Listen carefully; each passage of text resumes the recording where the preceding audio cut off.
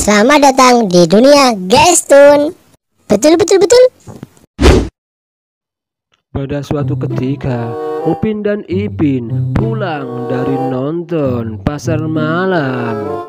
Namun, tiba-tiba dia bertemu dengan hantu Lea. Oh no. Waduh, Upin, itu kan, itu kan hantu Lea. Hey. Iya, Ipin, itu hantu Lea. Bagaimana nih? Hahaha. Tenang saja, Upin. Tenang saja. Kita kabur. Waduh, aku ditinggal. Lari.